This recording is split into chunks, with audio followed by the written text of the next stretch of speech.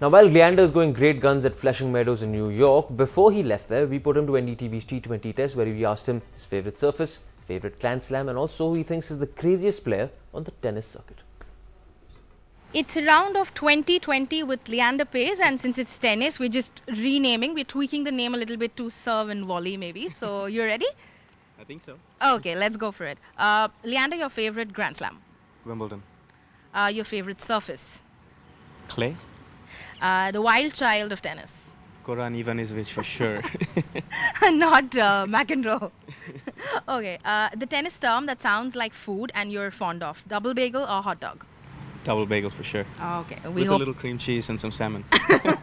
Okay, uh, the most embarrassing thing that may have happened uh, to you while playing? I was playing a match in Florida many years ago, and uh, an elderly lady, uh, she was probably about 68 years old at that time. It's now going way back.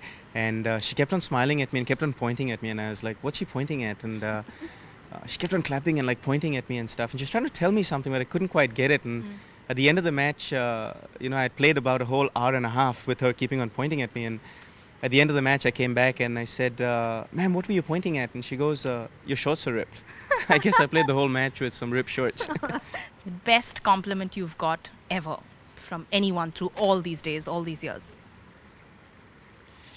Whew, uh, a few years ago, I was told uh, after a big uh, Davis Cup match, um, one of the fans came running up to me and he said, If I had to choose one person and my life depended on it, it would be you. Um, I still think he was joking. India's number one news app. Just got even better. Download NDTV's new app.